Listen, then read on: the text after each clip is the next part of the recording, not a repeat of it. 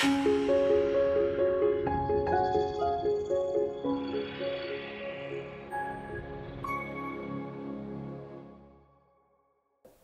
everyone, I'm Liz Hyman. I'm Executive Vice President of Public Advocacy at CompTIA, and I'm here today with Tim Hebert.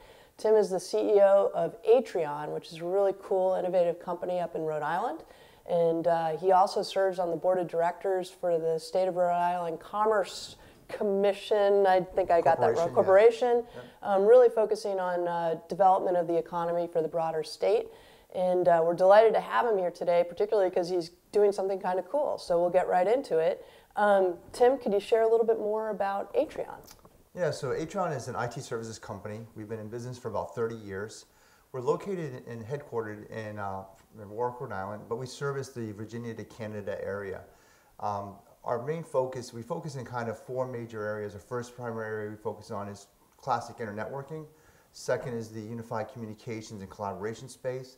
Third is the data center space. And fourth and last is um, the whole security space which is relevant for this conversation. Absolutely. Yeah. Well, speaking of that, can you share with us a little bit for why you're here today? Yeah, so I got a call from um, our congressman, Jim Langevin, um, about a week ago.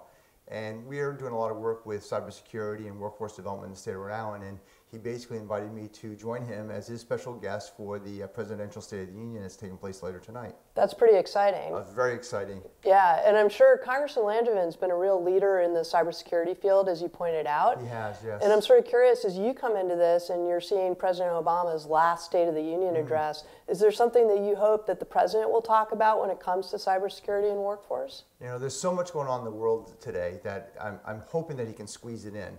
Um, I'm fearful that it won't get into the State of the Union, but I think cybersecurity is one of the greatest threats to our country and to kind of the, the world in general. Um, if you look at what's happening around the world with just the attacks, cyber attacks, it's just increasing every day and getting worse and worse. So what I'm hoping is that he'll address it and talk about it. I think there's two fundamental things I would like to hear him say about cybersecurity. One is how we take our political system, our government, and actually make it more secure. I don't think enough is being done at that level with what the bad guys are trying to do, the bad actors are trying to do. And number two is I think it's really, um, we don't have enough people that are trained in skills to actually move into a true cybersecurity world that we really need. And I think we need to make some major investments in the country to increase the skill sets. Well, I know CompTIA has worked on both of those yeah. issues, so we're obviously very engaged in, in things like the Cybersecurity Information Sharing Act and legislation to try to do that. But on the workforce front, uh, you know, we share an affinity for mm, that. We do. Um, could you tell us a little bit more about the, the program that Atrion has launched around the workforce? Yeah, Liz, our program that we created, we created, we're going on our eighth year. So far, we've graduated over 100 people through the program. It is a true 100% apprenticeship program. It was created when we were looking for talent and had a really hard time finding the type of individuals we needed to be successful as a company we need to have three things strong character, strong professional skills, and strong technical skills. And what we found is most people had some element of one of those, but not what we really required.